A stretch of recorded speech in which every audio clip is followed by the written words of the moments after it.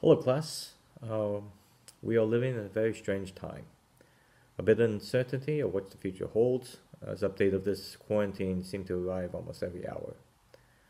Although we've been conducting this course online from the very start, I had to adjust to the new schedule. I've altered the days of the modules, which now don't align with the original syllabus.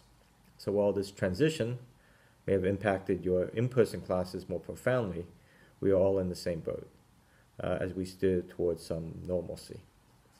Uh, this online class will continue as always, but several of you might feel stressed uh, because of other parts of your world has been shaken up. Many have lost their jobs or had to put their lives on hold. Uh, many wonder where their shortage of supplies will come from uh, or paying the rent or bills. Um, many might have been affected by the virus itself.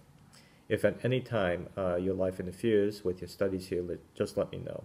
Uh, there are great tools and resources on the LA City College webpage uh, that help you get through this, uh, and I will surely accommodate uh, whenever possible. Uh, just message me, and we'll figure this out together.